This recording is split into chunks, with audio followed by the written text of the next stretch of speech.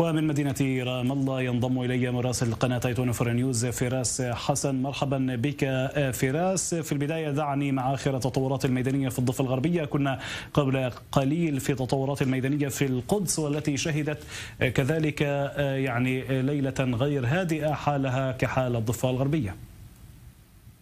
نعم محمد بعد يوم عصيب عاشته الضفة الغربية خصوصا في منطقة جنين آه، إثر اغتيال قوات الأمن الإسرائيلي أربعة مسلحين فلسطينيين من المطلوبين لها. اندلعت اليوم مواجهات في أكثر من منطقة في الضفة الغربية. أعنفها كانت في الخليل التي تواصل الإضراب فيها لليوم آه، الثاني حدادا على ضحايا العملية الأمنية الإسرائيلية في جنين حيث أصيب آه، خمسة شبان فلسطينيين برصاص القوات الإسرائيلية خلال خلال مواجهات في مدينة آه، دورة جنوب جنين كما أصيب العشرات بالاختناق بالغاز المسيل للدموع وأصيب شبان بالرصاص الحي أيضا خلال مواجهات اندلعت وسط مدينة الخليل. أيضا اندلعت مواجهات أخرى مع قوات الإسرائيلية على حاجز أبو الريش العسكري المتواجد في المنطقة الجنوبية من مدينة آه، الخليل. وفي المنطقة الجنوبية أيضا أغلقت القوات الإسرائيلية كافة مداخل آه، مدينة الخليل بعد أن أطلق مسلحون فلسطينيون على سيارة سيارة إسرائيلي مرة من المنطقة وما زالت قوات الأمن الإسرائيلي تجري عمليات البحث والتمشيط في المنطقة. نعم. في مدينة البيرة آه، أصيب شاب برصاص في ركبته خلال مواجهات في منطقة جبل الطويل شرق البيرة. في بيت لحم أيضا محمد كان هناك أيضا مناوشات ولقي طفل لم يتجاوز عمره السبعة أعوام مصرعه جراء سقوطه من علو أثناء مطاردة قوات الجيش الإسرائيلي لمجموعة من الأطفال في بلدة تقوع جنوب شرق آه، بيت لحم هكذا أعلنت آه، المصادر الفلسطينية وكما وصل لنا على صعيد نعم. الاعتقالات بشكل عام محمد اعتقلت القوات 15 فلسطينيين آه، فلسطينيا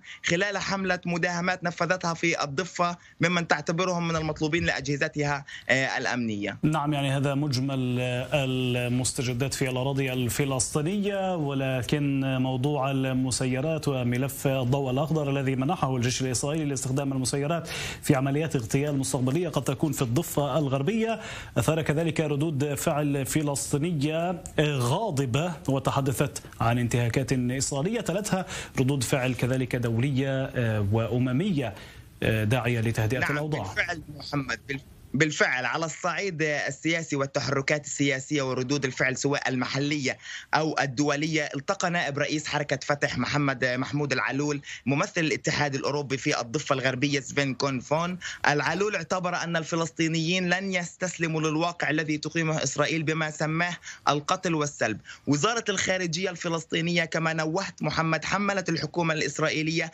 المسؤولية الكاملة والمباشرة عن التصعيد الحاصل في المنطقة. كما حملت مجلس الأمن الدولي المسؤولية عن تداعيات هذا آه، التصعيد لوقف دوامة العنف خصوصا بعد قرار رئيس أركان الجيش الإسرائيلي. كما أشرتم أفيف كوخافي استخدام الطائرات المسيرة في استهداف المسلحين الفلسطينيين.